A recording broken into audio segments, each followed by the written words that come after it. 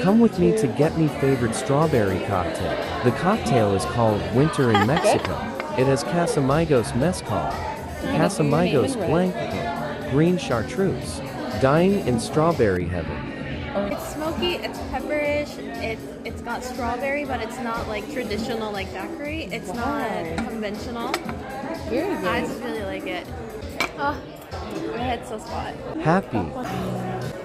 I may have to come here and instead. They have a strawberry stuff for Easter. I thought, like, what the hell happened? Because when you gasped, it also went down, and I'm like, This burrata was good. I asked if I can get a strawberry cocktail with brut champagne. This is what I got. Oh my god, it was so good it had Oh, yeah, so champagne, lemon, and strawberry iced dessert. Happy places here.